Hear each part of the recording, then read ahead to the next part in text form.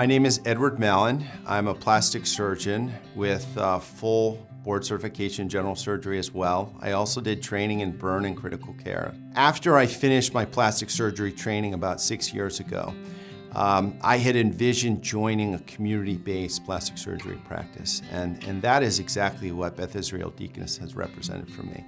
And so I'm thrilled to be here, and uh, I'm excited about joining the Breast Cancer Center to provide comprehensive plastic surgery, reconstructive surgery for our patients.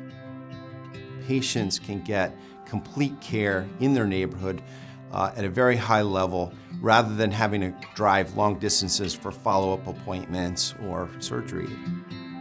What I like to provide for the patients is a, a picture that there's an entire team there taking care of them. We have the medical oncologist, the radiation oncologist, the surgical oncologist, and now the plastic reconstructive surgeon to rebuild their body, to restore them back to where they were so that this cancer diagnosis, although devastating at the beginning, is not a long-term problem for them. And um, breast cancer treatment is becoming better and better.